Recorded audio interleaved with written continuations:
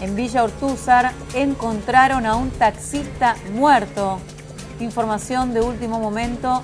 Se desconocen aún los motivos del hallazgo de este hombre muerto. Un taxista fue encontrado en Villa Ortúzar. Estamos compartiendo la imagen en vivo y también la fotografía del taxi al cual pertenecía el trabajo de este hombre. Gustavo, con más información.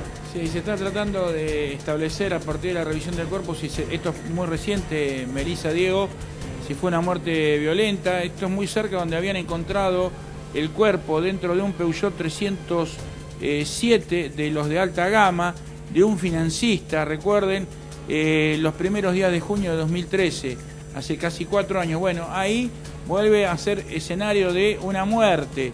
Recordemos, esto es Villa Artúzar, muy cerca del lugar donde habían encontrado el cuerpo de un financista asesinado hace cuatro años y está trabajando en estos momentos eh, eh, personal de policía científica de la policía de la ciudad y ha instalado ya directamente un gazebo para extraer el cuerpo eh, y cubrir justamente, trabajando con total seguridad, para extraer el cuerpo de este taxi que repetimos, apareció el conductor muerto de dentro de este vehículo.